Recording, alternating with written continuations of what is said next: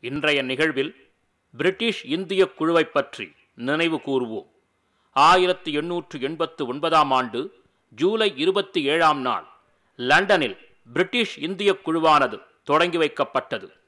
W C Banerjee Dadabhai Naoroji போன்ற தலைவர்கள் இந்திய விடுதலை போராட்டத்திற்கான ஆதரவை இங்கிலாந்து பாராளுமன்றத்திலும் திரட்ட வேண்டும் என்று கருதினார்கள்.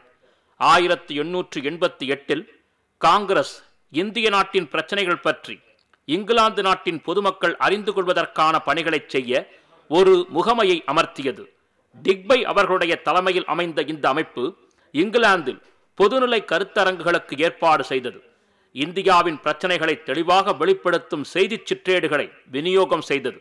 ஆயிரத்தி எண்ணூற்று எண்பத்தி ஒன்பதாம் ஆண்டு ஜூலை மாதம் நிரந்தர பிரிட்டிஷ் இந்திய குழு உருவாக்கப்பட்டது.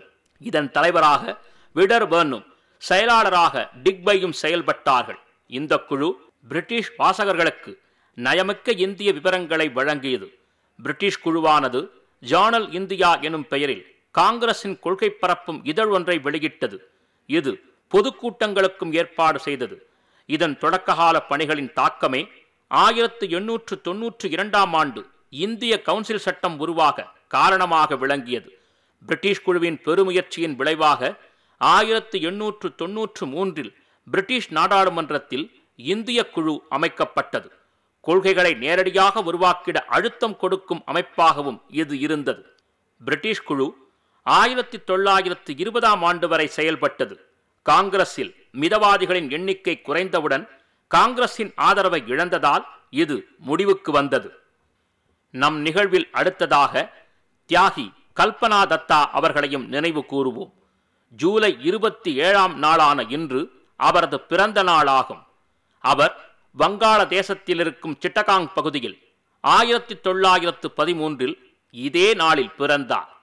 இவர் குதிராம் போஸ் அவர்களின் வீர தியாகத்தால் பெரிதும் ஈர்க்கப்பட்டார்.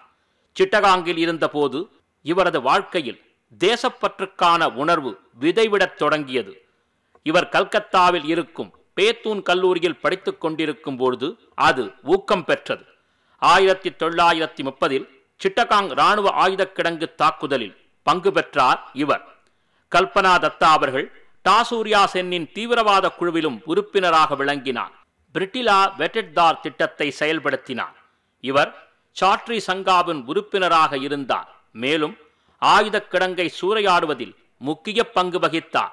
அதிலும் பஹர்தோலி கிளப்பின் மீது தாக்குதல் நடத்தியது இவரது முதன் முயற்சியாகும். இவரும் மாஸ்டர் டாவும் இணைந்து மேற்கொண்ட இரண்டாவது முயற்சியின் போது பிரிட்டிஷார் இன்னும் விழிப்புணர்வுடன் இருந்தனர். கல்பனா தத்தா அந்நேரத்தில் தப்பித்து விட்டார். ஆனால் மாஸ்டர் டா ஆயிரத்தி தொள்ளாயிரத்து முப்பத்து மூன்றில் கடைசியாக கைது செய்யப்பட்டார்.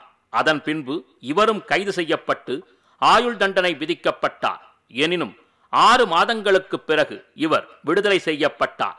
கல்பனா தத்தா அவர்கள் ஆயிரத்தி தொள்ளாயிரத்து நாற்பதில் கல்கத்தா பல்கலைக்கழகத்தில் பட்டம் பெற்றார். பின்னர் இந்திய கம்யூனிஸ்ட் கட்சியில் இணைந்தார். ஆயிரத்தி தொள்ளாயிரத்து நாற்பத்தி இரண்டில் ஏற்பட்ட வங்காள பஞ்சத்தின் போதும் ஆயிரத்தி தொள்ளாயிரத்து நாற்பத்தி ஏழில் நடைபெற்ற இந்திய பிரிவினையின் போதும் இவர் துயர் துடைக்கும் பணிகளில் ஈடுபட்டார்.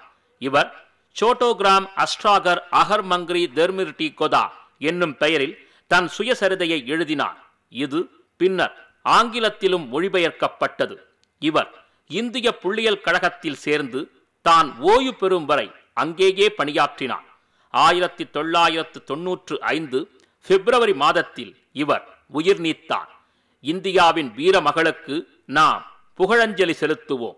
நாளை மற்றுமொரு சுதந்திர பயணத்தில் சந்திப்போம். ஜெய்ஹிந்த்.